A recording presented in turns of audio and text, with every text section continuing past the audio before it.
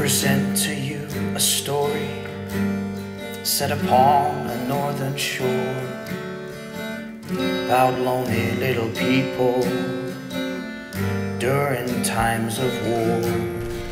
The foolish things they did, the foolish things they said. I think that you'll agree that they'd be better off dead.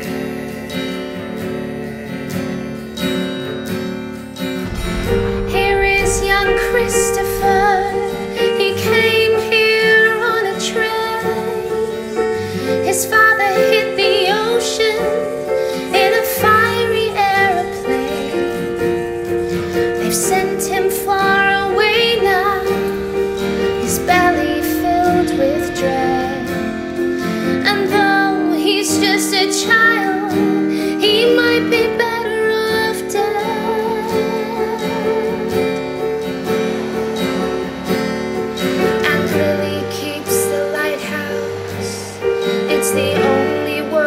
she's known. She's no ray of sunshine, so mostly she's alone.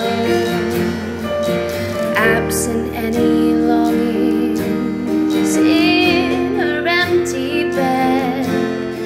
You'd hardly call her living.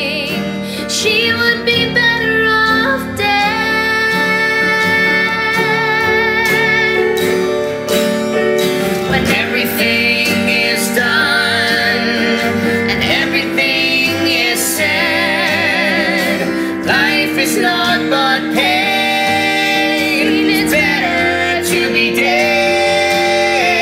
Release your heavy heart, rest your weary head. When all the world's at war, it's better, it's better. Witness, yes, a hero. He hails from old Japan.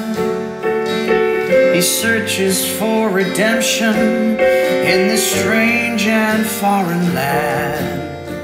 And now he works for Lily to earn his daily bread. But the most that one can say is that he's better off dead.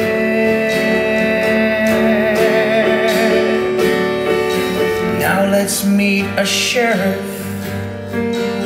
Charles is his name. Another lonely person.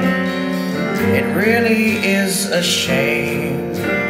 Does he stand for justice or something else instead? Either way, it hardly matters,